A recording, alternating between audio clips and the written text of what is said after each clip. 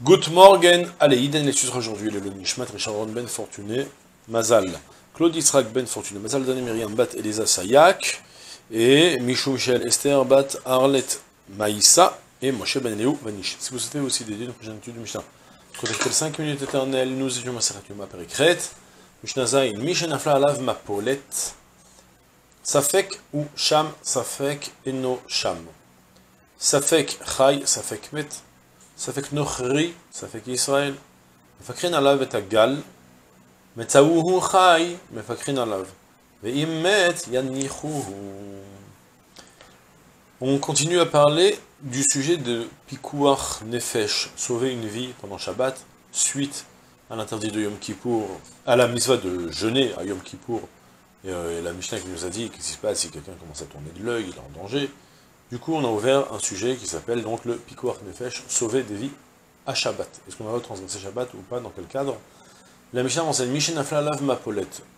Celui sur qui est tombée une avalanche, il y a eu un, soit une avalanche de pierre, soit c'est une maison qui s'est effondrée, un immeuble, et quoi?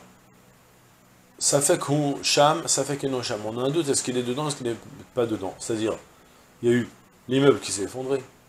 Nous, on l'a vu rentrer hier soir dormir, on est le matin à 10h, l'immeuble s'effondre, on ne sait pas est-ce qu'il est dedans il n'est pas dedans. Ça fait Koucham, ça fait Kenosham, peut-être qu'il est là-bas, peut-être qu'il n'est pas là-bas. Ça fait Kraï, ça fait Kmet. Il est, on a un doute, est-ce qu'il est vivant ou pas?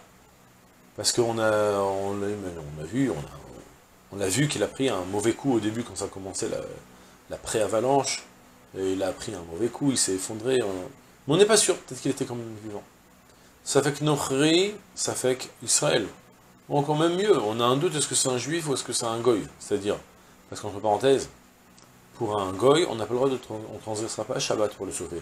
Même pour sauver un juif. Pour quelle raison si on sauve Shabbat, si on sauve un juif, c'est déduit dans la Gemara de Vachai Bahem, Mutav chez Techalel Shabbat Echad, chez Ishmor Shabbat Otarbe. Qu'il vaut mieux, finalement, quand on sauve un juif, c'est pas juste parce que le c'est parce que le, le, fait qu'on va le sauver en transgressant une fois un Shabbat, on va permettre qu'il y ait un juif qui va accomplir plein de fois, Shabbat, plein de fois le Shabbat, plein de mitzvot. Donc du coup, un goy, il n'a pas de. On ne transgressera pas le Shabbat, sur une de en tout cas pour le sauver.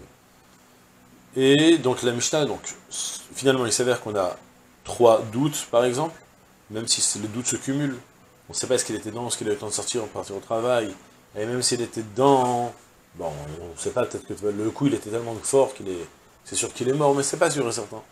Ou encore, euh, ou encore, est-ce que c'était un juif ou est-ce que c'était pas un juif? Malgré tout, dans tous ces cas-là, même qu'en cas de doute uniquement, mais fakrin alav est à gal. On, les fakar à gal, je sais pas comment ça se traduit. Le gal, c'est le monticule, le tas de pierres, de décombres. Euh, mais fakrine, c'est qu'on va les dégager, les, pourra dégager et creuser les décombres, même s'il y a des interdits, parfois des oraita. Ils seront levés ces interdits pour euh, éventuellement sauver une vie. Par contre, et donc, imagine maintenant on a commencé à dégager, et puis on commence à découvrir un premier corps que Metsaou Chai. On l'a trouvé qu'il était vivant. Mais Fakrin, Alav, on pourra continuer à le ressortir sur l'insistance de la Mishnah, qui nous a dit que tu peux sauver, donc il est vivant, c'est sûr que tu peux sauver, sinon pourquoi tu as commencé? En fait, la Mishnah explique, la Gemara même si concrètement, on ne va pas pouvoir le sauver pour qu'il vive longtemps. Il va tenir 3 heures de plus, même 4 heures de plus. On a remarqué qu'il a, les, membres complètement euh, cassés, il n'a pas de chance. Mais pour le moment, il respire, il peut tirer la vie même pendant 3-4 heures. On pourra même transgresser Shabbat pour lui sauver ce, cette petite euh, petit bout de vie. Par contre, Veimmet, Yanirou, par contre, s'il est mort, eh bien, il faudra le laisser. D'abord, là, on explique que c'est le nez qui fixe. Soit on découvre le haut, soit on découvre le bas. Dès qu'on arrive au nez, on remarque, est-ce qu'il y a de l'air qui passe ou il n'y a pas d'air qui passe. S'il n'y a aucun air qui passe, ni par le nez, ni par la bouche, bien sûr, eh bien, on saura qu'il est, qu'il est, mort, et on, s'arrête. Alors, la me dit, on le laissera. On s'arrêtera de, de dégager les décombres jusqu'à la sortie de Shabbat. Pour quelle raison? Parce que on, a une permission de transgresser Shabbat pour sauver une vie, mais pas pour sauver un mort. Et la Gemara, elle nous précise qu'en fait, on a besoin d'insister, de le permettre, parce que dans la Sechet Shabbat, on a fait une certaine permission par rapport aux morts, en l'occurrence, que s'il y avait un incendie, on avait le droit de prendre un cadavre et de le prendre et de le sortir, alors qu'un cadavre en temps normal, il est mouxé pendant Shabbat. Malgré tout, là, on avait le droit de le sortir, de peur que euh, il va partir éteindre le feu tellement qu'il a envie que son qui est décédé, qui soit enterré euh, dans l'honneur, dans la dignité. Donc du coup, on craint qu'il va partir éteindre le feu. Donc on lui a permis, on a dit, tu sais quoi, transgresse le mouxé sur le de l'incendie. Mais malgré tout, donc on va lever qu'un interdit midera banane de, pour, le, pour le sauver. Euh, par contre, par contre, si il y a eu, comme on a dit, l'immeuble qui s'est effondré sur lui, et qu'on le trouve maître, ben, si on ne lui permet pas de dégager l'immeuble, il va laisser le mort comme ça, il n'y a aucun problème.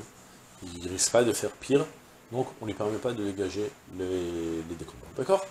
C'est tout pour aujourd'hui. Je vous souhaite une journée pleine de Hatzlacha et une Ktiva Vechatimatoa à tous dans la Shalva, la bonne santé pour tous, la Simcha, Nachat des, enfants et des petits-enfants pour ceux qui en ont aussi, et Bezrat Hashem, que ce soit cette année Tafshin Pevet, une année de Geoula, Bezrat Hashem pour tout l'âme Israël, avec la reconstruction du Beth Amikdash, et même mieux que ça, peut-être la semaine prochaine, on aura déjà le Beth Amikdash reconstruit pour aller voir la Voda de Yoma, hein. on sera déjà, on a fini la Maserhet, on pourra aller voir, est-ce qu'on a bien assimilé les choses, Bezrat Hashem, et c'est tout pour aujourd'hui. Je vous souhaite une journée comme tout ça.